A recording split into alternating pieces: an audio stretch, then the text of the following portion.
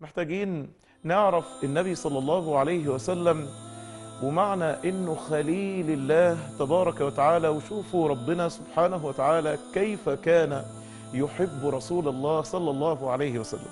الحمد لله الذي أنزل على عبده الكتاب ولم يجعل له عوجا قيما لينذر بأسا شديدا من لدن. ويبشر المؤمنين الذين يعملون الصالحات أن لهم أجرا حسنا. وجاءت المقدمة. وبعدين جت إجابة السؤال الأول أم حسبت أن أصحاب الكهف والرقيم كانوا من آياتنا عجبا؟ رمضان رمضان برنامج يوم مع النبي مع الشيخ هاني حلمي.